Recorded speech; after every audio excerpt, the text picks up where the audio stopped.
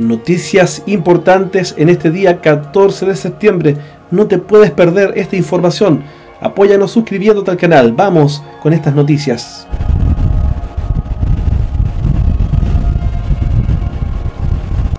El huracán Nicolás ha dejado daños generalizados en más de 500.000 hogares sin electricidad. Acá podemos ver los daños que ha ido dejando. Las imágenes las van compartiendo a través de las redes sociales. Este huracán tocó tierra en el sector de Texas durante el día 14 de septiembre, con vientos máximos sostenidos de 120 km por hora. La tormenta ha causado diversos daños, dejando a muchas personas sin electricidad. 263.000 clientes siguen sin electricidad hasta este minuto. Tanto en Texas y también en Luisiana hay 95.000 personas sin energía eléctrica. Durante la noche, este huracán desató los vientos potentes, tocando tierra, causando todo tipo de daños con sus lluvias severas, además de marejadas ciclónicas, fuertes lluvias, lluvias que afectaron a diversos lugares. Ahí tenemos a Nicolás, que en este minuto es una tormenta tropical. Los daños fueron bastante grandes, como vemos, techos caídos, calles completamente inundadas producto de la fuerza de las lluvias. Ahí podemos ver otro de los videos cómo se observa prácticamente todo inundado en el sector. En Houston residentes afectados comparten las imágenes de los daños de este huracán. Ahí podemos ver algunos árboles caídos, algunas techumbres, algunas latas. Justamente antes de tocar tierra se convirtió en huracán. Estas son las imágenes que podemos ir observando de los daños que ha dejado. Afortunadamente se debilitó. Ahí estamos viendo entonces algunas de las imágenes que van quedando. El impacto fue bastante grande. Acá están los motivos por los daños y cortes de energía eléctrica. Arrasó con varios de los tendidos eléctricos.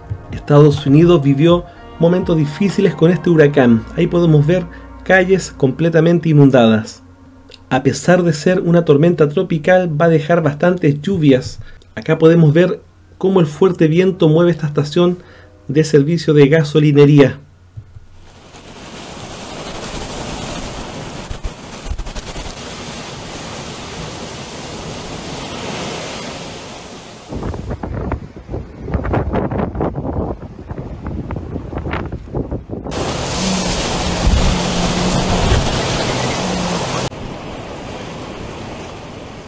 Pasando a otra información, les comentamos que una misteriosa explosión subterránea dañó significativamente un edificio y una calle en Detroit. Funcionarios están investigando además un extraño olor a gas. Las autoridades de la ciudad han dicho que el daño fue causado debido a problemas subterráneos. El fuerte olor a gas fue reportado en el sureste de Detroit y está bajo investigación desde el domingo luego de esta explosión subterránea. El suelo se movió, agrietó las calles y dañó un edificio. El Departamento de Obras Públicas de Detroit cerró algunas de las calles afectadas hasta nuevo aviso. Los funcionarios de la ciudad dijeron que este incidente fue causado por problemas subterráneos, pero no dieron más detalles. Las autoridades, en conjunto con el Departamento de Obras Públicas, están determinando la causa del cambio de este terreno. Equipos del Departamento de Bomberos de Detroit, el Departamento de Seguridad Nacional, Manejo de Emergencias y otras agencias locales federales están ayudando en la investigación. Se ha pedido a los residentes que sean cautelosos y que informen sobre cualquier anomalía. DTE Energy ha dicho que el gas natural no es el culpable y que no hay evidencia de que se haya provocado una explosión de gas natural. La aparente erupción subterránea ocurrió el sábado por la noche. El incidente dejó un dispensario cercano con importantes daños estructurales. Los que estaban dentro de la tienda en ese momento no tenían idea de lo que estaba pasando. El equipo estaba adentro y básicamente notamos que el edificio comenzó a moverse dijo una de las personas que estaban dentro de este edificio. Luego de eso, el personal que estaba dentro debió ser evacuado. Vamos con el reporte sísmico. Si ustedes se dan cuenta, el cinturón de fuego está muy activo. Atención ahí con esta zona de Estados Unidos que se está moviendo bastante hacia Colorado, Tennessee, Oklahoma. Mucha actividad sísmica en estos sectores. Lo mismo está pasando en la zona de la falla San Andrés. Hay una actividad sísmica muy elevada en el lugar. México sigue concentrando muchos sismos. Es un país que debe estar muy alerta porque sigue alta la actividad ahí en México. Así que los mexicanos a estar pendientes de estos sismos que se están generando en Coahuila, México, un 3.8. Nuevamente se empiezan a mover ciertos sectores. Sigue la actividad en Guerrero. Hay que estar atentos allí. Y también sigue la actividad hacia la zona de lo que es Chiapas y Oaxaca. Así que México está muy activo sísmicamente y también la zona de lo que es Baja California. Algunos sismos en Nicaragua en la zona costera, Costa Rica también en la zona costera, un 4.2, Panamá también sismos allí en la zona costera y en la frontera con Costa Rica, un sismo menor en Colombia de 3.5, el día de ayer fue ese sismo, también se ha movido un poco lo que es la zona de Haití con un 3.5, República Dominicana un 3.1, un 3.3 República Dominicana y lo que es la zona también de Puerto Rico con un 2.8 y otros sismos allí que aparecen registrados.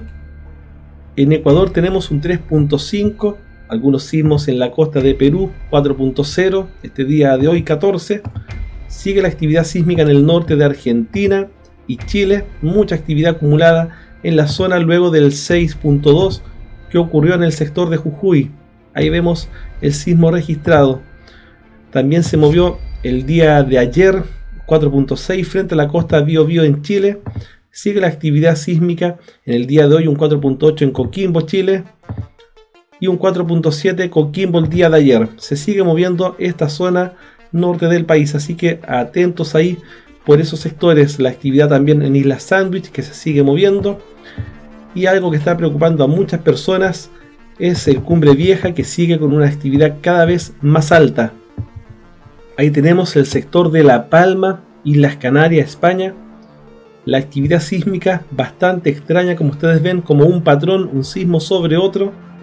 Así está la actividad en este sector, en el volcán Cumbre Vieja, que es un volcán que está muy estudiado y podría provocar eh, problemas bastante graves, como un tsunami de 50 metros con, los, con las olas muy altas, si es que llegase a resquebrajar todo esto y caer en el mar, provocándolo hacia varias costas, llegando a muchos países. Así que es un estudio que apareció en 2001. Hicimos un programa de ello en los videos anteriores para que lo puedas ver. Pero hay que estar atentos a este sector y a este volcán que es bastante peligroso. Empieza la actividad muy alta en el Cumbre Vieja. Luego del 6.2 en Jujuy, Argentina, como le habíamos avisado, era muy probable que se moviera la zona de Japón tuvimos algunos sismos en Japón de 4.8 y el 5.8 en Islas Izu.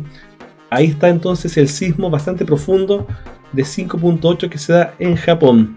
Empieza a moverse la zona de Indonesia, a estar pendientes aquí. Ya hay un 5.3. Empieza a aumentar la actividad sísmica hacia estos sectores. Vamos a estar muy pendientes en estas áreas entonces en los próximos días y se sigue moviendo Hawái bastante fuerte ahí también con sus volcanes. Recuerden que Hawái tiene el volcán más grande del planeta, el Mauna Loa, así que atención ahí con los volcanes de Hawái. Gracias por haber participado y queda el misterio, ¿qué fue esa explosión de gas? Todo queda ahí, no se sabe muy bien qué es realmente. Vamos a estar atentos a lo que sucede. Suscríbase al canal, recuerda presionar la campanita y síguenos a través de nuestras redes sociales. Búscanos en Telegram como KL Videos, en Instagram y Facebook. Muchas gracias. Hasta pronto familia KL.